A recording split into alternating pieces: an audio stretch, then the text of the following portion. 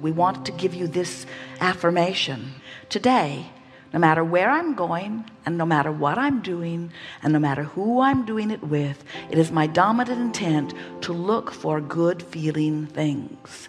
And if we were standing in any of your physical shoes we would put ourselves in bed tonight and we would lie there in an attitude of appreciation. We would think about this day we would think about our children we would think about the earth we would think about lakes we would think about flowers and kittens we would think about whatever it is that makes you feel good when you think about it and we would let that be the tone in which we would go to sleep. And as we are drifting off to sleep we would say if I dream I want to recall it. If there is anything of value and when I awaken in the morning I will be refreshed because while I sleep I will reemerge into pure positive energy and when I awaken I will be in that place. And since I'm going to sleep on the vibration of appreciation it is my full expectation to wake up in that same vibration. And when you awaken lie in your bed and reach for the dream that you dreamed but even more important reach for the feeling of appreciation that you set into motion before you went to sleep.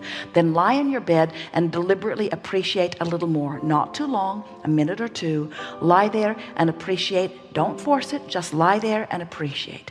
Then get up do whatever you need to do go to the bathroom brush your teeth comb the hair out of your face do whatever it is that you want to do briefly but then go get something not a lot to eat just don't worry about feeding your entire family. Just give yourself some refreshment and sustenance. And before you jump into the day of dealing with all of them go to a place and sit deliberately for 15 minutes with the deliberate intention of bringing yourself through meditation through the quieting of your mind into alignment with the fullness of who you are.